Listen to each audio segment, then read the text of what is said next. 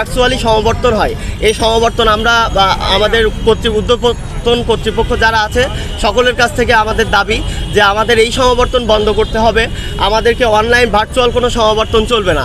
আর দ্বিতীয় নাম্বার যে দাবিটা, সেটা হচ্ছে আমাদের যারা ভালো মেধাবী স্টুডেন্টরা চার বছর পর লেখাপড়া করে উচ্চ শিক্ষা শিক্ষিত হয়ে বের হবে আর কি তাদেরকে একটা সম্মাননায় বা স্বর্ণ পদকে ভূষিত করতে হবে।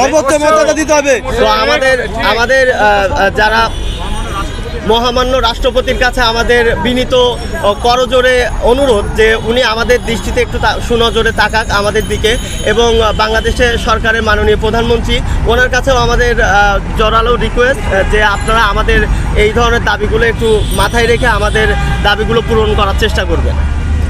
অবশ্যই আমাদের সাত কলেজকে সর্বোচ্চ মর্যাদা দিতে হবে। আমাদের সাত কলেজকে সর্বোচ্চ মর্যাদা দিতে হবে। আমরা লজ্জা মেনে নিতে পারছি না। আমাদের আমাদের এই সাত কলেজকে সর্বোচ্চ মর্যাদা দিতে হবে। আমরা এই কষ্ট এই লজ্জায় মেনে নিতে পারছি না। আমরা সকলে এই জন্য রাস্তায় নেমেছি।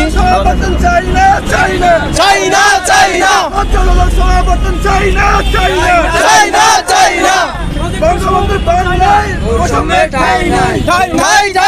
আমাদের দাবি মানতে হবে। মানতে হবে মানতে হবে। আমাদের দাবি মানতে হবে। মানতে হবে মানতে হবে।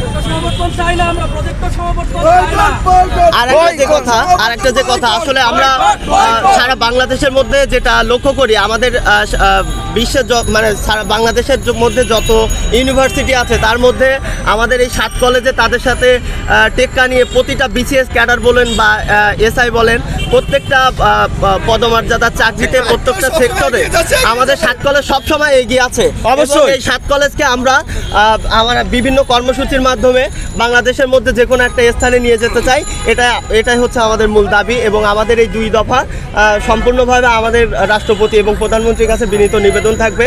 আমাদের সাত কলেজকে আহ, যথাযথ মর্যাদায় ভূষিত করে আমাদের দাবি মেনে নেওয়া অবশ্যই।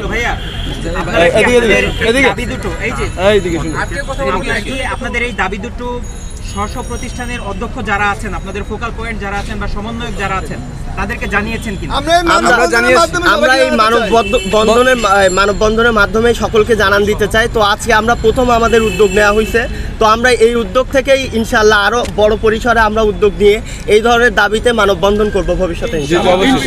এখান থেকে আমাদের বড় পরিসরে আমাদের আন্দোলন হবে। সামনে ইনশাআল্লাহ। মানতে হবে।